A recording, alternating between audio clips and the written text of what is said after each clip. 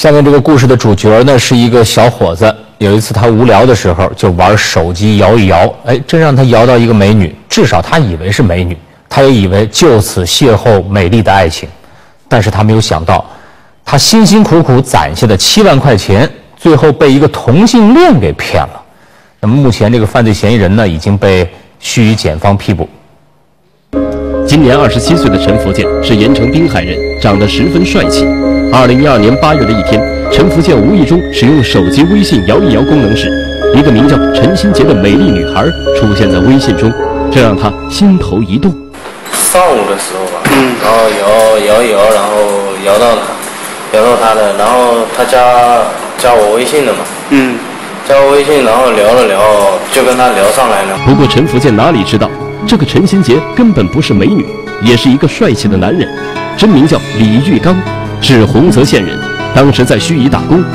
微信中的美女图片只是他找人聊天的一个幌子。我一开始是我先加的他，嗯，对，然后他就跟我他说美女好，我说你是哪里的？他说我是滨海的。简单的几句沟通，陈福建对李玉刚留下了很好的印象。之后，他们每天通过微信相互关心问候，两人感情迅速升温。仅仅三四天，双方已经无话不谈了。他说他是小学老师，聊了大概一个星期左右吧，然后他让我上这边来的。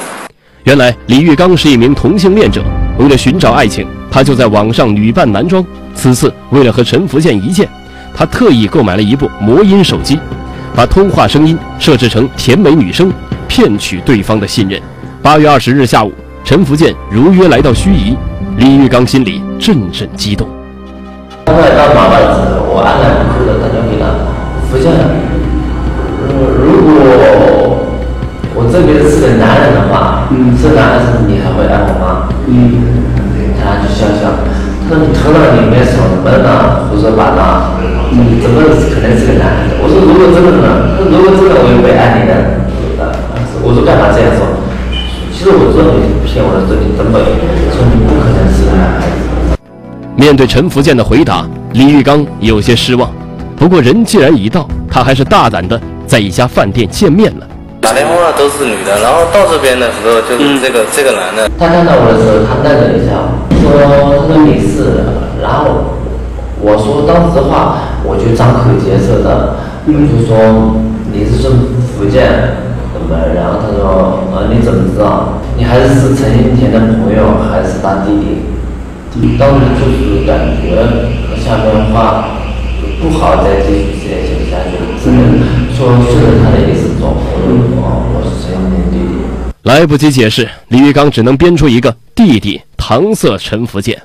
点了菜，然后他说：“他说，呃大家叫你姐，呃，等会叫你姐过来。”我说：“我忘了。”我说：“姐跟我说的，说他这个两天要补课，为了补课，压力特别重。”他说：“理解，呃，工作要求不能耽误。”这一次面对面的接触，李玉刚觉得陈福建是个忠厚老实之人。他留陈福建在宾馆住下，然后慢慢的试探对方。说：“我都可以亲你吗？”嗯。他过来要亲我嘛，然后我没给他亲，我当时还感觉到奇怪，嗯，然后我就把他推过去。对于这个弟弟的异常行为，陈福建疑惑重重。第二天上午便回了盐城，并在网上向陈新杰讲述这个情况，并告诫他劝导弟弟不要误入歧途。一听此话，李玉刚就知道他不可能和陈福建好了。既然抓不住爱情，还不如放手捞钱。回去以后你们还正常的聊天吗？啊，正常联系的。然后他就说跟我借钱开店什么之类的，就跟我借钱嘛，然后给他两万块钱。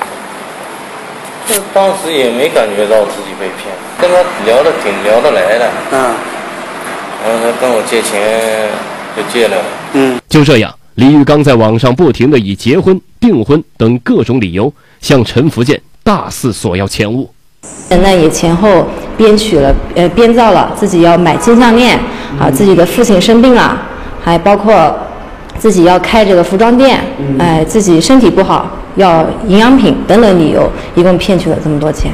诈骗了总共有几次？诈骗前后一共有五次。就是一呃被害人一共向他汇钱汇了五次，累计的金额是七万一千四百块钱。